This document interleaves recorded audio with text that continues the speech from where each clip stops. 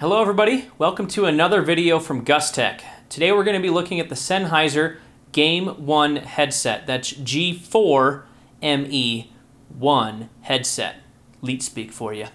Uh, this headset is one of the top of the line gaming headsets. It actually probably is the top of the line as far as gaming headsets are concerned. We're going to be taking it apart as far as the unboxing is concerned, showing you some of the initial thoughts and impressions, and see if it's worth your consideration.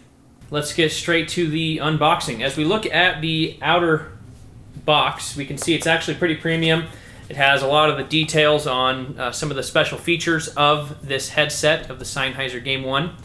And, uh, well, looks all nice and good. Let's go ahead and take it apart, as it should just slide out one side. After much struggling, it finally is coming out. Uh, I don't really love this packaging style, and it's still giving us lots of issue. All right, now we can get this out of the way. It's got some nice little branding on the inside box here. As we open it up, you can see the packaging that they display it in. Looks very nice. The headset itself is contained here. You can see the cord is wrapped inside of it. And you're going to notice that this cord is extremely long. We're going to get into that in just a second here. Let's take it out. All right, and that's all we have. Just the headset in there, no driver discs, no whatever fluff, just a very nice box to put your headset in. Taking a look at the headset itself and actually feeling it for the first time, this is a very nice headset, and you can feel the premium quality. You can see it has a very nice aluminum uh, siding here, where you can see the Sennheiser logo. You can also see it has a volume adjuster right here, where you can decrease or increase your volume. This will fit on the right ear cup. On the left side, we have our actual microphone boom. Now, interesting thing about this, this boom will go really, really low. You're usually not going to have it quite that low. But when you go all the way up, there's a little clicking sound it makes. Right there. And that click means that it's muted when it's up. So it's going to mute when it goes up into that vertical orientation. Let's take a look at the cord here for a moment. I want to focus on this. Uh, first off, the Velcro is really nice because even though the Velcro works against itself, it's not actually going to get caught on the braided cable, which is really nice because a lot of times these Velcro parts will ruin the braided cable of your actual cable it's supposed to be tying together. So we're going to put that back together here. And look at how long this cable is. This is three meters long, or in real measurement terms, it's about nine and a half feet in real measurement.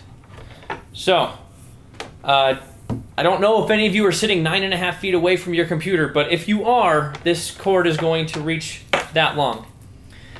On the end, we can see it does have very nice little adapters, uh, 3.5 millimeter jacks, one for audio, one for uh, your microphone. If you want to have this headset work with something like an Xbox One, PlayStation 4, or even your phone, it can. All you have to do is buy this little adapter kit. It's about 10 bucks. It's the Sennheiser PCV05. And uh, it basically is just going to convert your two cords into one. You don't have to buy the one from Sennheiser. You can buy it from pretty much anyone. They're really just a few bucks, and it's just going to convert your two 3.5 millimeters into one that has a microphone input. Again, overall impression of the headset, very comfortable. You can see it's got a lot of uh, memory foam cushioning on the top here. Uh, it is plastic, but it feels like a very premium plastic. It doesn't feel cheap or, or thin or brittle. And uh, even as you stretch it out here, it does seem like it has quite a bit of, of uh, resistance, so it's going to fit rather tight, at least initially. A lot of the things that you're going to read online will say the same, that it's going to fit tight initially, but it's probably going to spread out and get a little bit easier to fit later on. So go ahead and put it on. So these are open back. So the first thing you'll notice when you're wearing these headphones is that you can hear outside noises. You can't hear them great. Keep in mind, that means other people can hear what you're listening to. So you may want to be careful with what you're actually listening to when you have these on. Just saying. Uh, additionally, though, they when they fit on your head, they are very comfortable. Uh, that top band really does do a great job of giving you that extra support, and the memory foam cups are nice and feel very uh, tight on your ears without putting too much pressure and you know making your head feel squeezed. So if you have a really big head, these might be a little bit small initially, but I, I know they're going to work into it obviously as most headsets will. Uh, but keep in mind, my head's not really the biggest in the world, but it's not exactly small. So I have to use the biggest setting on these, and uh, it fits very perfect, very snug for me. So if you have a really big head, you might want to reevaluate getting these headsets or uh, maybe something that's a little bit bigger for you. Uh, overall impressions, though, and overall quality of the product, it does look extremely nice. Now, keep in mind a couple of nice things about this. Uh, most people are going to recommend that you get an amplifier, uh, something to, to amplify your sound. You really don't need an amp with these headsets. These only have 50 OHMs or ohms. And uh, what that means is that your, your impedance is really, really low. So you're not going to get a whole lot of uh, feedback or static running through this cable, even with how long it is. And you're really going to get a pretty good sound reproduction without purchasing an additional amplifier. You should have as enough, enough volume pushed through these to really be okay.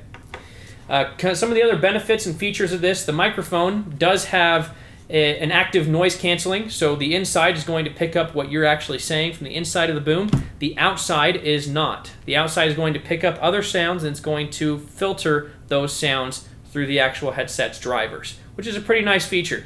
This is one of the only gaming headsets you can buy that has active noise canceling, and if this is anything like Sennheiser's other headsets that they use for professional use, which it is, the noise canceling is going to be better in these than just about anything you can get on the market.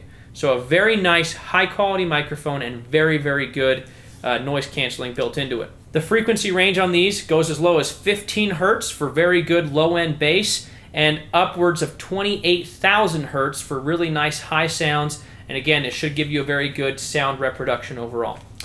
Uh, as I said, we're pretty satisfied with these. They feel nice, they feel sturdy. Uh, really excited to start using them and actually uh, get some play out of them. But obviously, like I said, Sennheiser's done a great job with their packaging, done a great job keeping it very simple. You take the headphones out, you plug them in, they're ready to go. You don't have to do anything else. You don't have to fiddle with manuals and drivers and warranty information and all this other garbage that's going to clutter, clutter up your space. So we're impressed with it, and that's about all we have to say about it.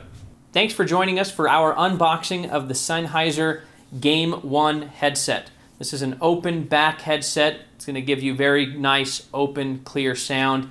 And additionally, we've been very impressed with our initial unboxing. The quality is definitely here from Sennheiser as we would definitely expect from a $200 headset. Now, some things to consider. This is typically going to be right around $200. They do come in black and white. You can also get it in the closed format. The only difference between the Game 1 and the Game 0 is Game 0 is the closed headset. So it's zero for zero noise, maybe. Maybe it's the one before one. I don't know. Anyway, the Game 1 has been very impressive. Uh, we were excited to see the implementation of raising the microphone boom for the mute switch. It's obviously very nice, and this is definitely worth your consideration as far as we're concerned from an initial quality standpoint. Like the video if you liked it. Leave a comment if you have any questions, concerns, or you just want to be heard. Make sure you click that subscribe button so we can continue making videos like this for you. If you are interested in purchasing the Sennheiser Game 1 headset, there is a link to purchase it from Amazon in the description below. And obviously, clicking on that goes towards supporting us, and we do appreciate it. Make sure to check back for more unboxings, reviews, technical analysis of different products, and different instructional videos to make sure that you're maximizing the performance in your hardware. Thanks again for joining us. We are GusTech, and we'll see you next time.